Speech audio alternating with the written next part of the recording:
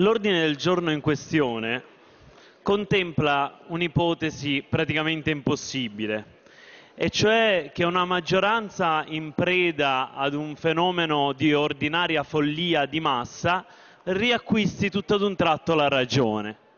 E come dovrebbe avvenire questo?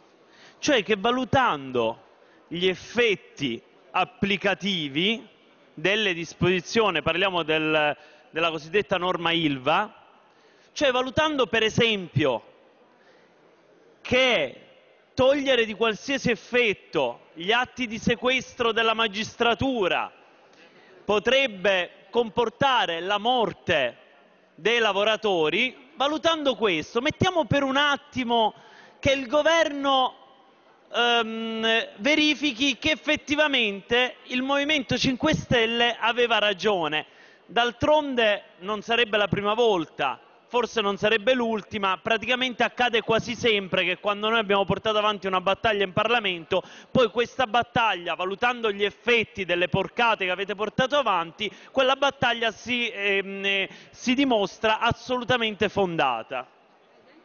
Allora, mettiamo che ciò accada, il governo si impegna a tornare indietro sui suoi passi si, si impegna a stabilire che l'interesse strategico nazionale, l'attività produttiva a tutti i costi, effettivamente deve fermarsi. E allora io chiedo a, eh, al governo e alle comparse, mi permetto di dire che oggi lo rappresentano qui, Presidente, se per favore può... Stavo intervenendo, grazie. Vada avanti, onorevole Bonafede, per favore.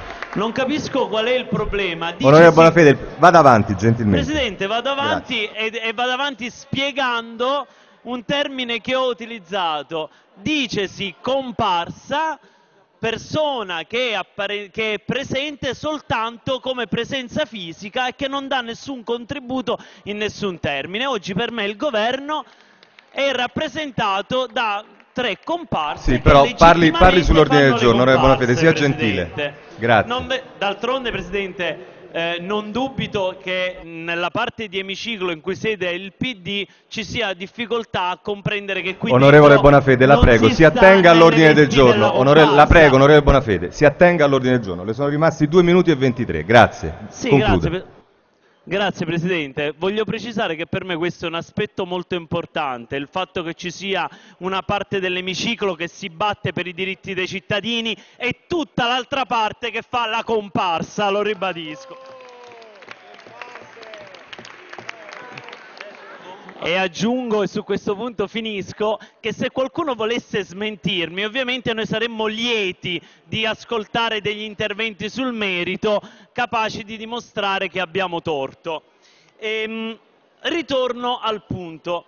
Allora, nel momento in cui il governo si accorge che il provvedimento ha cagionato dei danni, perché l'ordine del giorno è molto chiaro, cioè chiede al, um, chiede al governo di valutare gli effetti applicativi e immagino che lo farà. Quante volte il Ministro della Giustizia a proposito per esempio della norma sulla responsabilità civile dei magistrati, ha dichiarato apertamente e pubblicamente che avrebbe fatto una sorta di tagliando dopo un numero di mesi per valutare gli effetti applicativi di quel provvedimento. Perché in questo caso chiedo al governo, non è possibile valutare gli effetti applicativi della norma e valutare che se per caso morisse qualche lavoratore di troppo a causa delle porcate che state portando avanti, forse è il caso di tornare indietro sui propri passi. È semplicemente questo quello che chiede l'ordine del giorno in questione, non um, un pentimento a prescindere, ma un pentimento basato